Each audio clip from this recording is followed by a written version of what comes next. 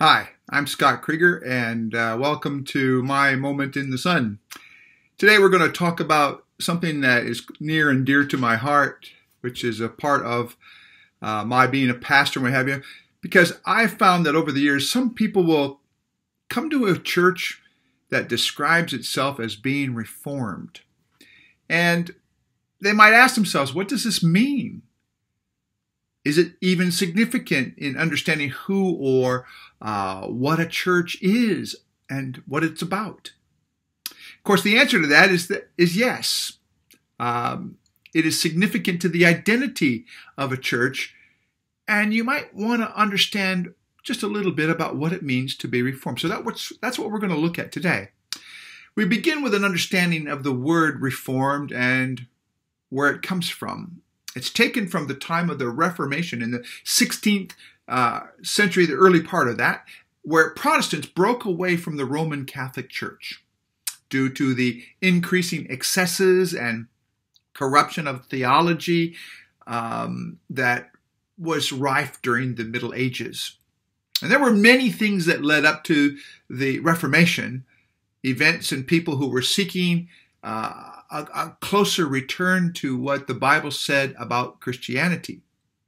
But it really began in earnest with the Roman Catholic monk Dr. Martin uh, Luther when he nailed 95 discussion points, which were called theses, uh, onto the do- uh, church door in Wittenberg, Germany, uh, on the 31st of October, 1517 all of which entailed points of ecclesiastical practices that Luther thought uh, were at odds were, with Scripture.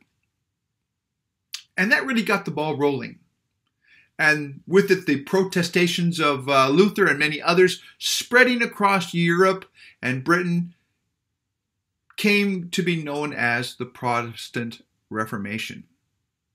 German, Swiss, English, Dutch reformers gathered strength and over the years returned to a more orthodox view of what the Christian scriptures say in terms of their faith and their practices.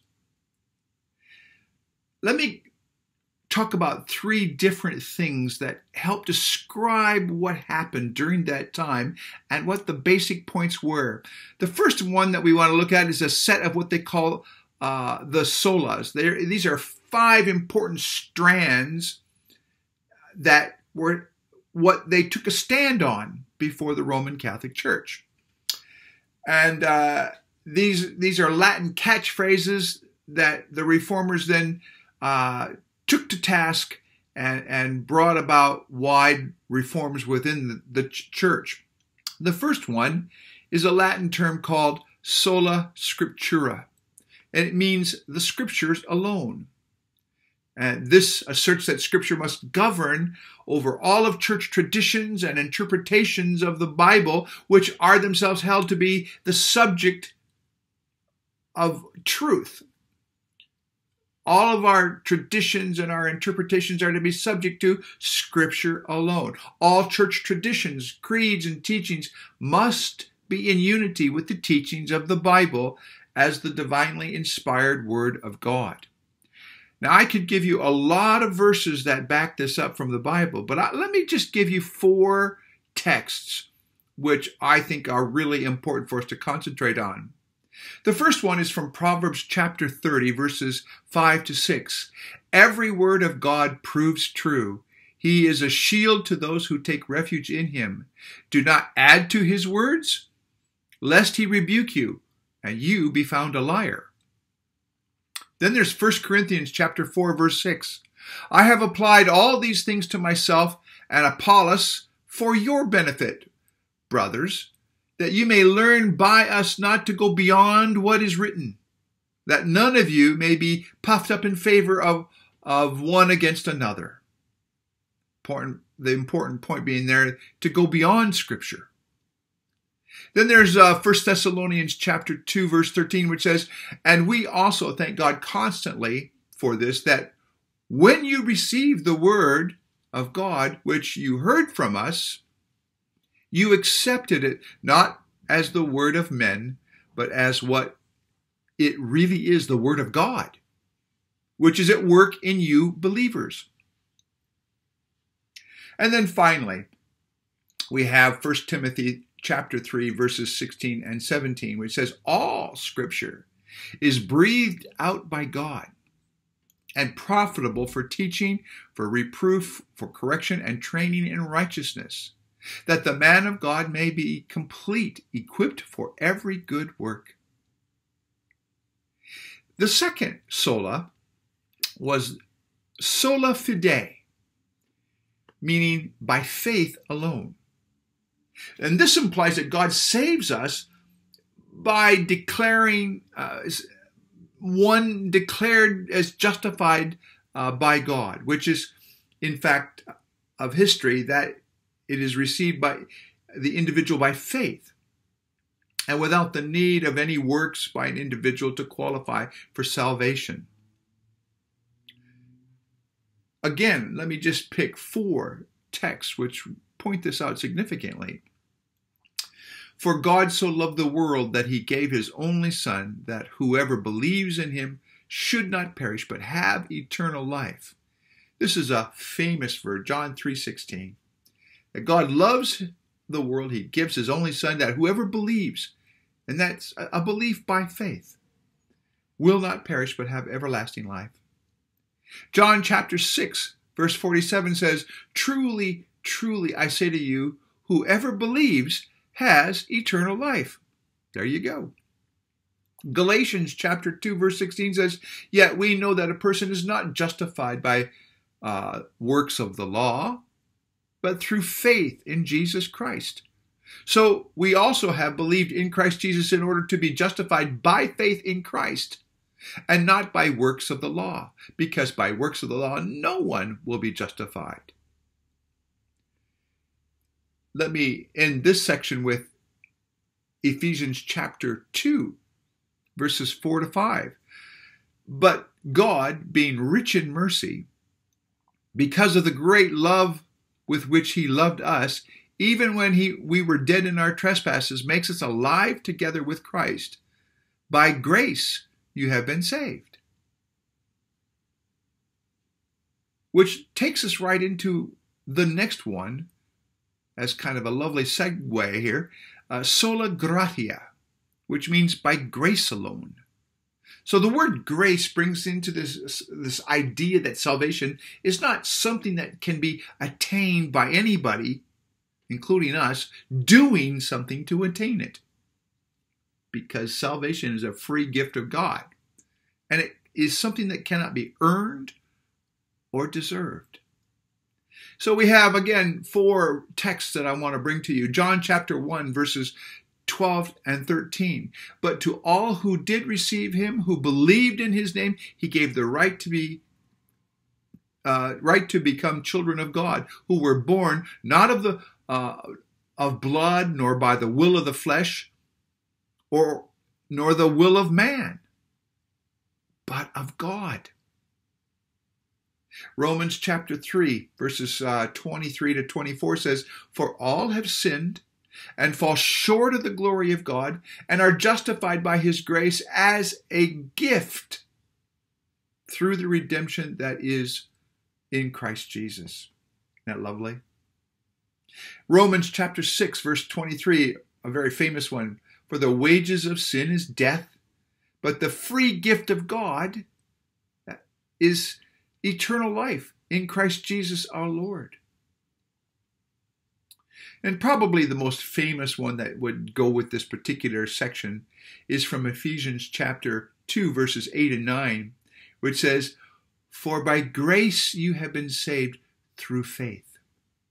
And this not of your own doing, it is a gift of God, not a result of works, so that no one can boast. That's what grace is. The next one, the fourth one, has to do with what is called solus Christus, meaning by Christ alone. This means that Jesus Christ is the sole mediator between man and God.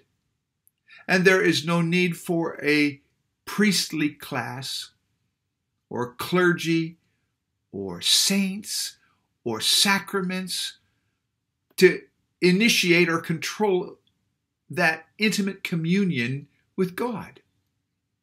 God alone is our prophet, priest, and king in Christ Jesus, in whom we place all of our hope. And so we have these four verses to show you that it comes from the Bible. John chapter 14, verse 6 says, Jesus said to him, I am the way, the truth, and the life. No one comes to the Father except through me. Acts chapter 4, verse 12 says, And there is salvation in no one else, for there is no other name under heaven given among men by which we must be saved. Which puts paid to the whole idea that there are other ways to get into heaven. Romans chapter 5 verses 1 to 2 says, Therefore, we have been justified by faith. We have peace with God through our Lord Jesus Christ, and through him we have also obtained access by faith into this grace in which we stand.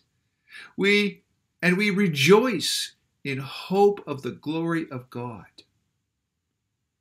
And 1 Timothy chapter 2 verses 5 and 6 says, "For there is one God, and there is one mediator between God and man, the man Jesus Christ, who gave himself as a ransom for all, which is the testimony given at the proper time.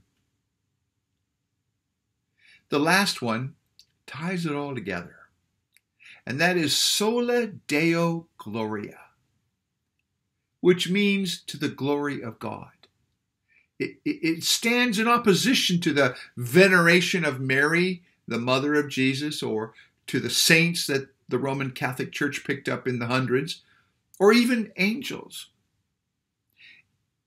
it understands that all glory is to be due to God alone, since salvation is accomplished solely through his will and by his action.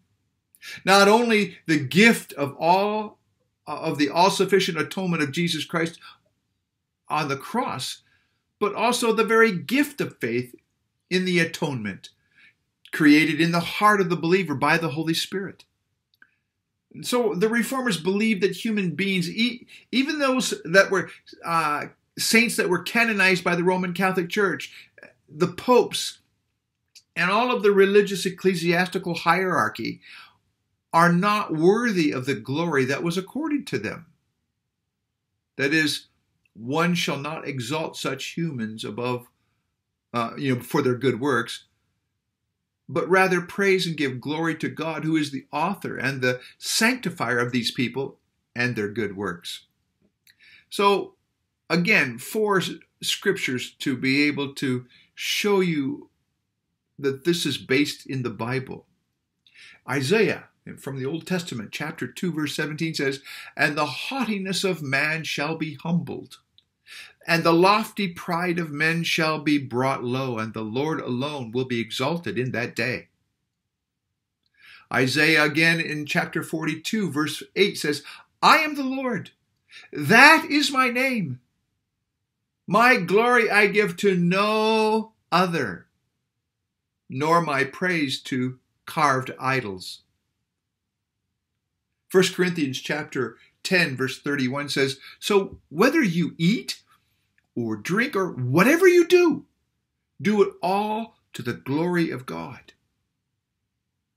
And we see how that works out at the end. In Revelation chapter 7, verse 12, it says, saying, uh, the saints saying, Amen, blessing and glory and wisdom and thanksgiving and honor and power and might be to our God forever and ever. Amen. There are some other points that we want to bring to your attention in Reformed thinking. Five more important points.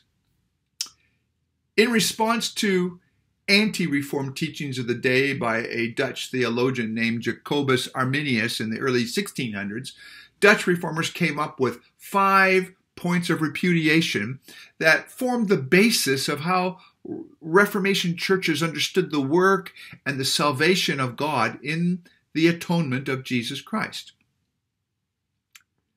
The first one was to signify the depravity, the total depravity of man. So I want you to think about the flower tulip for a moment. Imagine the, the, the word tulip, T U uh, L I P, and remember that because we'll do an acronym here. So the T stands for total depravity of man. And that's where we're talking about the belief that all of mankind is tainted with the original sin of Adam via the federal headship of Adam, and that because that all mankind is prone to committing sin from birth. This sinful nature is innate in all of us, and thus mankind is incapable of finding or reaching out to a holy God for redemption. We are truly dead in our sins and trespasses, unable by ourselves to seek God. That's just the fact of scriptures. Let me show you again some text from scripture. Jeremiah chapter 17, verse 9 says, The heart is deceitful above all things and desperately sick. Who can understand it? Romans chapter 3, verse 23 says, For all have sinned and fall short of the glory of God. Not just some, not just a few, but all of us. Romans 8 7 says, For the mind that is set on the flesh is hostile to God, for it does not submit to God's law. Indeed, it cannot. Ephesians chapter 2, verses 1 to 3 says, And you were dead in the trespasses and sins in which you once walked, following the course of this world, following the prince of the power of the air, the spirit that is now at work in the sons of disobedience, among whom we once lived, we all once lived in the passions of our flesh carrying out the desires of the body and the mind, and were by nature children of wrath, like the rest of mankind. This is the state that all mankind finds himself in if something isn't done to us to release us from it. The second thing of our acronym is the U of TULIP. And we it's called unconditional election. This is the idea that God has determined for himself a people that would say, uh, he would say bef- from before the foundations of the world. This group of elect people are saved unconditionally without any reference to uh, the present or the future deeds or works of such that would merit their salvation. So we have these verses from uh, John chapter 15, verse 16. You did not choose me, but I chose you and appointed you that you should go and bear fruit and that your fruit should abide, so that whatever you ask the Father in my name, he will give it to you. And in Romans chapter 8, verse 29, for those whom he foreknew, he also predestined to be conformed to the image of his Son, in order that he might be the firstborn among many believers. Romans chapter 9, verses 11 to 13. Though, says, this is Paul speaking, though they were not yet born and had not done anything good or bad, in order that God's purpose of election might continue, not because of the works, of, of works, but because of him who calls. Rebecca, she was told, the older will serve the younger. As it is written, Jacob I loved, but Esau I hated. Ephesians chapter 1 verses 4 and 5 says, Even as he chose us in him before the foundation of the world, that we should be holy and blameless before him. In love, he predestined us to uh, for adoption to himself as sons through Jesus Christ according to the purpose of his will. Before the foundation of the world. Wow. 2 Timothy chapter 1 verse 9 says speaking of God who saved, saved us and called us to a holy calling not because of our good works but because of his own purpose and grace which he gave us in Christ before the ages began. Now we got to deal with that. We have been chosen and called by God unconditionally. Which then brings us to the L of TULIP, which we call limited atonement, or if you prefer to be more precise, particular atonement. This is where God has chosen from eternity those whom he will bring to himself, not based on foreseen virtue or merit or faith in these people, but rather his choice is unconditionally grounded in his mercy alone. God has chosen from eternity to extend mercy to those whom he has chosen and to withhold mercy from those he has not chosen. Those chosen receive salvation through Christ Jesus alone. So we have in Matthew chapter 20, verse 28 even as the Son of Man came not to be served, but to serve, and to give his life as a ransom uh, for many. Wow. He came to serve he came to give a ransom and to give his life. In other words, he died. John chapter 6, verse 37 All that the Father gives me will come to me, and whoever comes to me, I will never cast out. John 6, 44 says, No one can come to me unless the Father who sent me draws him and I will raise him up on the last day. John chapter 10, verses 11 uh, to 15 gives us one of his famous uh, I am statements I am the good shepherd. The good shepherd lays down his life for the sheep. He who, uh, who is a hired hand and not a shepherd, who does not own the sheep, sees the wolf coming and leaves the sheep and flees and the wolf snatches them and scatters them. He flees because he's a hired hand and nothing and cares nothing for the sheep. I am the good shepherd. I know my own, and my own know me, just as the Father knows me, and I know the Father, and I lay down my life for the sheep. John chapter 17, verse 9, puts this into perspective when he says, I, I'm this is Jesus' high priestly prayer where he says, I am praying for them, his people. I'm not praying for the world, but for those whom you have given me, for they are yours. In other words, the death of the Lord Jesus Christ was not for everybody, but for those that were his own, his own sheep, those whom he has called those he has uh, brought about a faith. And that's something that is so irresistible that you can't turn it down. Which brings us to our next point the I in tulip. Irresistible grace, where the saving grace of God is effectually applied to you whom he has determined to save because you're the elect. And it overcomes your resistance to obeying the call of the gospel, bringing you to a saving faith. This means that when God sovereignly purposes to save someone, that individual certainly will be saved.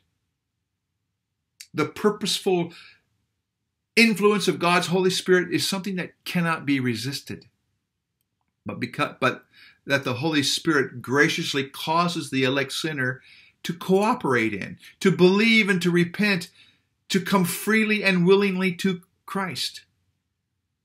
This is not to deny the fact that the Spirit's outward call, through the proclamation of the gospel can be and often is rejected by sinners. But rather, it, that inward call is something which cannot be rejected. John chapter 6, verse 37 says, All that the Father gives me will come to me, and whoever comes to me I will never cast out. John 6, 44 says, No one can come to me unless the Father who sent me draws him, and I will raise him up on the last day. Acts chapter 13, 48 says, And when the Gentiles heard this, they began rejoicing, glorifying the word of the Lord. And as many as were appointed to eternal life believed. Acts chapter 16, verse 14 says, One who heard us was a woman named Lydia from the city of Thyatira, a seller of purple goods, who was a worshiper of God. The Lord opened up her heart to pay attention to what was said by Paul. It's irresistible. Romans chapter 8, verses 29 to 30 says, For those whom he foreknew, he also predestined to be conformed to the image of his Son in order that they might be the firstborn among many believers. And those whom he predestined, he also called. And those whom he called, he also justified. And those whom he justified, he also glorified. The last one is one that's very comforting to me. It's the P of tulip. Perseverance of the saints. This asserts that since, G, since God is sovereign and his will is something that cannot be frustrated by humans or anything else, those whom God has called into communion with himself will continue in faith until the end. Those who uh, who apparently fall away either never had true faith to begin with, or if they are saved, but not presently walking in the Spirit, they will be divinely chastised and will repent. Romans chapter 11, verse 29 says, For the gifts and the calling of God are irrevocable. Philippians chapter 1 verse 6 says, I and I am sure of this that he who began a good work in you will bring it to completion at the day of Jesus Christ. 1 Thessalonians 5 23 and 24 says, Now may the God of peace himself sanctify you completely. And may your whole spirit and soul and body be kept blameless at the coming of our Lord Jesus Christ. He who calls you is faithful and he will surely do it. Then there's 1 John chapter 2 verse 19.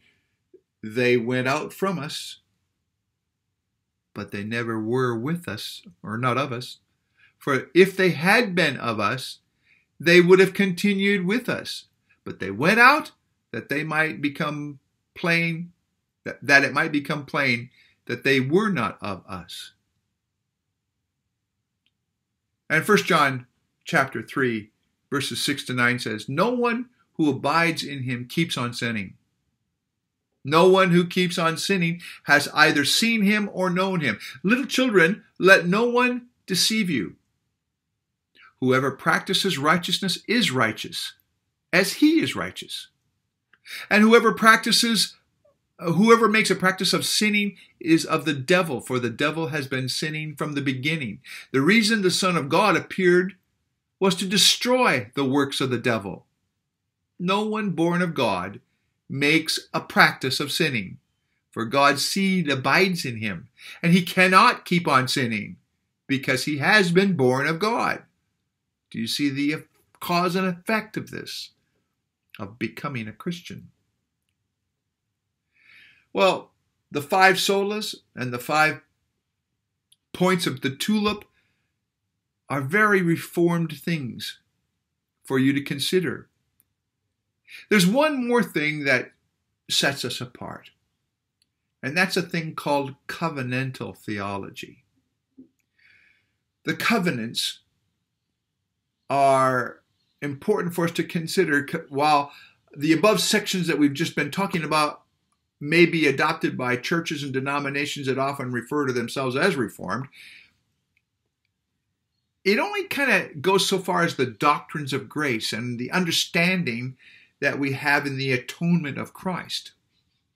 But the historic Reformed faith also included this understanding of God's covenanting with mankind on the conditions of the relationship between God and man, where God said these words in Leviticus 26:12, "And I will walk among you and will be your God, and you will be my people."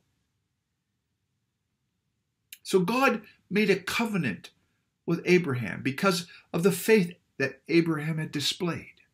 And in it, he promised that Abraham would be given the promised land of Canaan. He said that his descendants would be more numerous and powerful, and that from them would come the one who would be the blessing unto the nations. You can read about these three promises in Genesis chapter 12, 15, and 17. The rest of the Bible is the fulfilling of these three promises to Abraham, not only in prominent localized contexts, but also in the fuller and future fulfillment of the kingdom of heaven in the Messiah, who is Jesus Christ. This covenant with Abraham was sealed with the rite of circumcision on the foreskin of all Israelite males and babies who were eight days old.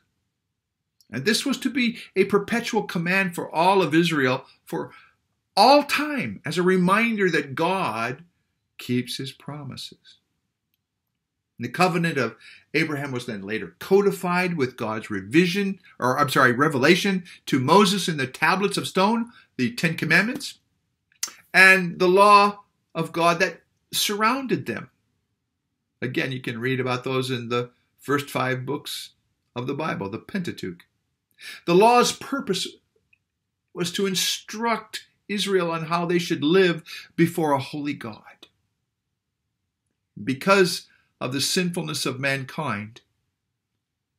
And Israel, um, God later proposed an upgrade of the covenant where he overlaid the previous covenant with Abraham, the, the same promises but where the means for employing the law of God was shifted from outward forms of the law to the indwelling of the Holy Spirit in individuals who hold the same faith as Abraham. So, with this new covenant, the sign of the covenant also changed from circumcision to that of water baptism, performed in the well known practices of the Mosaic law as an act of purification and cleansing.